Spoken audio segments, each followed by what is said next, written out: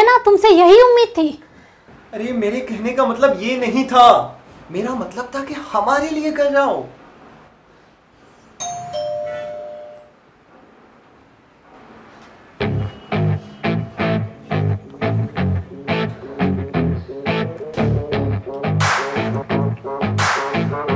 पूजा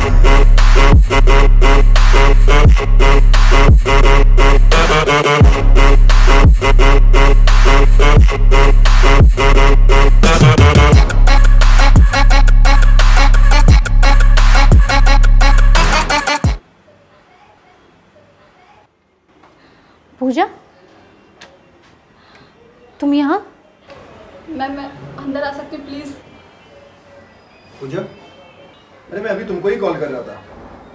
पर तुम यहाँ क्या कर रही हो? सर वो अंदर आ जाओ।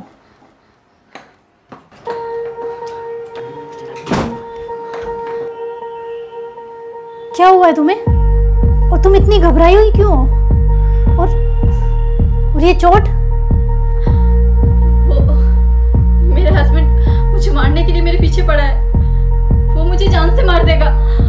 पर क्यों? और ऐसे कैसे मार देगा यार? तुमने पुलिस स्टेशन में कंप्लेन नहीं लिखाई? कि उसने तुम पर हाथ उठाया? मैम वो खुद एक पुलिस वाला है। मैं ऐसी गलती नहीं कर सकती। नहीं तो वो मुझे पक्का मार देगा। लेकिन वो ऐसा क्यों करेगा? वो तो तुमसे बहुत प्यार करता था। ये हस्बैंड का ना दिखावे का प्यार होता है। इन पे तो ना भरोसा ही नहीं करना चाहिए। यार तुम्हारी हर बात घूमकर मेरे ऊपर क्यों आ जाती है? मैं तुम्हें कहाँ बोल रही हूँ? मैंने तो बस एक कॉमन बात बताई है। अच्छा। तो तुम्हारी हर कॉमन बात आकर मेरे ऊपर ही क्यों खत्म होती है? अब तुम्हारे दिल में चोर है तो तुम सारी बात अपने ऊपर ले लेते हो। मैं क्या करूँ? लेकिन अब इससे बात कर ले। पूजा क्या हुआ है? साफ़ साफ़ बताओ। एक्चुअली आई एम प्रेग्नेंट क्या आई भी ये तो खुशी की बात है। फिर वो तुम्हारी जान के पीछे क्यों पड़ा है? मेरे हस्बैंड इसी मंथ टेस्ट करवाए हैं। और उनका रिपोर्ट सही नहीं था।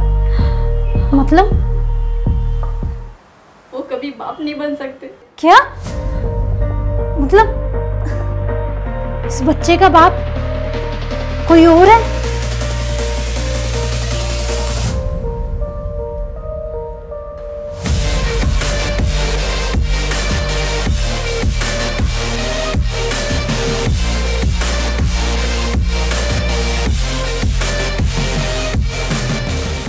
कैसी हो रहा तो? तुम ऐसा काम करोगी तो कोई भी हस्बैंड नाराज़ होगा ना? और तुम इसको कुछ कहते क्यों नहीं? अरे मैं क्या बोलूँ अब? और मेरे हिसाब से तुमको भी इस सब में नहीं पढ़ना चाहिए। अरे उसकी लाइफ है उसका डिसीज़न पर मुझे जानना है कि इस बच्चे का बाप कौन है। पूजा बताओ कौन है इस बच्चे का बाप? मैम वो वो मैंने कहा था ना हम लोग पकड़े जाएँगे। बस! एक शब्द और नहीं। कुछ दिन और चुप नहीं रह सकती थी। अगर ऐसे बताएगी तो पकड़े ही जाएँगे ना। अच्छा इसलिए तुम्हें ऑर्फनेज नहीं जाना था और इसलिए तुम्हें बच्चा भी नहीं चाहिए। अब मुझे पता चल रहा है कि ऑफ़िस के बहाने तुम्हारा टाइम स्पेंड कहाँ हो रहा था। हाँ लेकिन तुमको मेरे जैसा ही बच्चा चाहिए था ना। पहले जब मैंने तुमसे बोला एक बेबी अडॉप्ट करने के लिए तो तुमने मुझे हमेशा मना कर दिया कि नहीं अपना खून अपना होता है।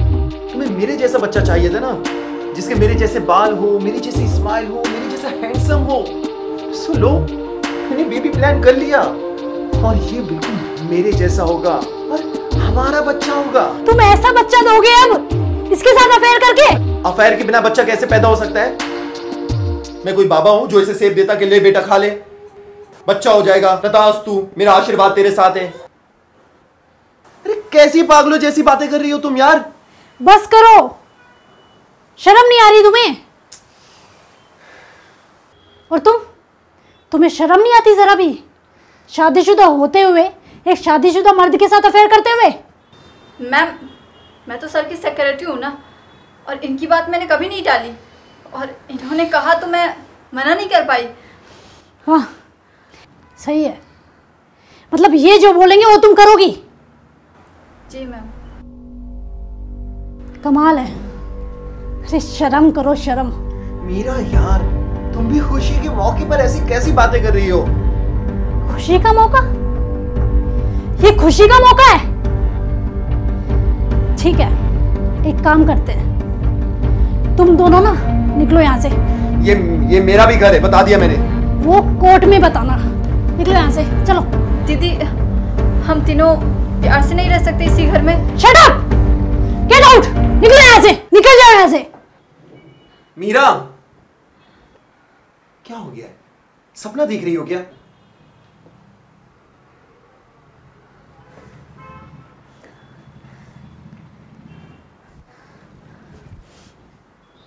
एक बात बताओ। अगर इस बच्चे का बाप तुम्हारा हस्बैंड नहीं है तो फिर कौन है? नाम तो पता होगा ना उसका। एक ही बाप है ना? प्लीज़ मीरा। ये उसका भी नाम नहीं पता तुम्हें? मीरा। नाम तो बता दो। ये क्या हो गया है तुमको? कैसे बात कर रही हो? क्या हो गया है? सॉरी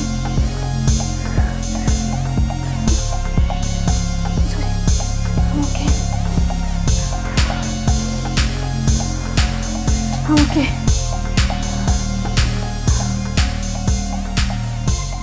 पूजा तुम्हारे इस बच्चे के बाप का नाम तो बता दो ना प्लीज़ प्लीज़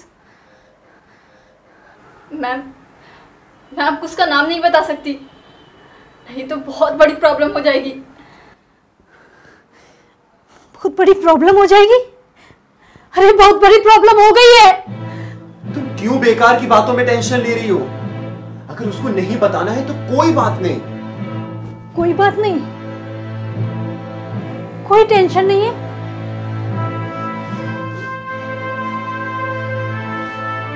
कोई प्रॉब्लम नहीं है तुम्हें?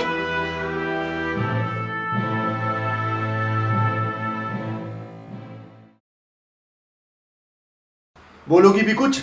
या ऐसे ही घूरती रहोगी? बोलोगे अब तुम। मैं क्या बोलूँ? मैंने मीटिंग कैंसिल कर दी है। चलो चलते ऑर्फनेज सीरियसली तुम्हें अब भी ऑर्फनेज जाना है? क्यों? अब क्या हो गया? मेरे सामने ना ज़्यादा शरीफ बनने की कोशिश मत करो। गलती पकड़ी गई है ना तो मान लो। कौन सी गलती मान लूँ? फिर ड्रामा कर रहे हो। यार देखो इस वक्त ना मेरा दिमाग बहुत सारी जगहों पर काम कर रहा है। ऑफ़िस में क्या चल रहा होगा मीटिंग कैंसिल कर दी ऑर्फनेज जाना और ऊपर से पूजा। हाँ। अब आई ना असली टेंशन सामने। कब से चल रहा तुम्हारा उसका? देखो अगर तुमसे बच्चा नहीं हो रहा है ना तो इसका मतलब ये नहीं कि मैं हर जगह ट्राई करता फिरूँगा। और जब से उसने बताया कि वो प्रेग्नेंट है तुम मुझे शक की निगाहों से देखे जा रही हो देखे जा रही हो। तुम्हारा सही है। एक तो चोरी ऊपर से सीना चोरी। बस बहुत हो गया। अब खत्म करो। खत्म। ठीक है। तुम्हें जो सोचना है ना यहाँ खड़े होकर सोचो। मैं जा रहा हूँ।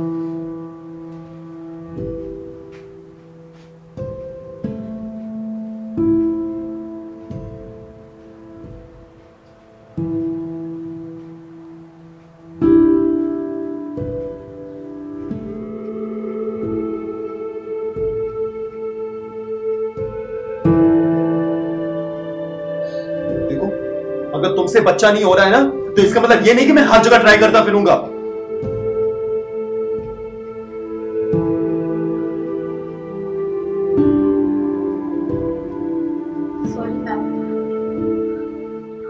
मेरी वजह से बहुत कंफ्यूजन क्रिएट हो गया। मुझे आपको सब सच बता देना चाहिए था। मैं सर के डर की वजह से कुछ नहीं बोली। एक्चुअली मैं सर के साथ जब भी बाहर किसी मीटिंग्स में जाती थी तो तो तो क्या? मुझे सुनना है सब? ज़्यादातर टाइम मेरा सर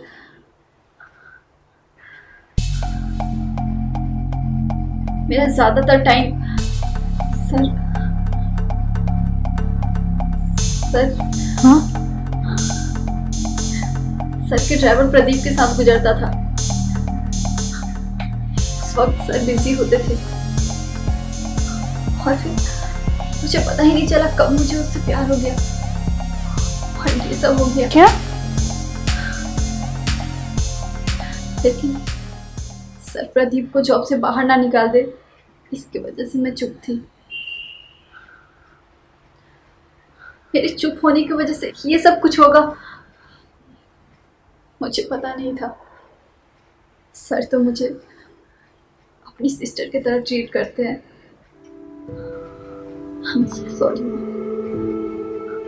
Sorry.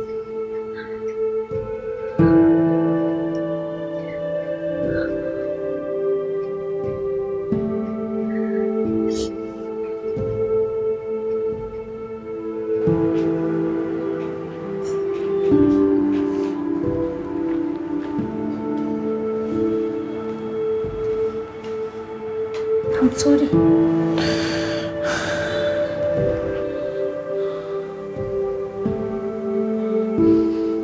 तुम्हारी गलती नहीं है। शायद वो ट्रस्ट में कमा नहीं पाया। कमाया तो सिर्फ़ थोड़ा बहुत पैसा, जिसके पीछे मैं रात दिन भागता रहा। लेकिन आज समझ में आ रहा कि पैसा कमाने के चक्कर में मैंने कितनी कीमती इतनी कीमती चीज़ पीछे छोड़ दी।